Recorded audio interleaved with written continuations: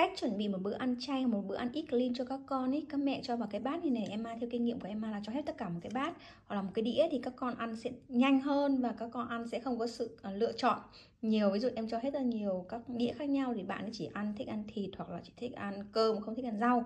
Cho nên là cho vào một cái bát như này thì bạn thứ nhất là bạn sẽ ăn được hết tất cả những cái gì có trong bát. Thì à, mình cho một phần cơm. Thì hôm nay là món cơm ngày hôm nay là cơm chay cho con. Thì mình sẽ cho cơm đậu phụ xào với rau củ quả này rất là dễ ăn và một chút canh rau. Nếu như bạn thích ăn canh thì có thể ăn thêm một chút canh và một cơm gạo lứt trộn với rong biển. Món này ăn rất là dễ ăn cả nhà.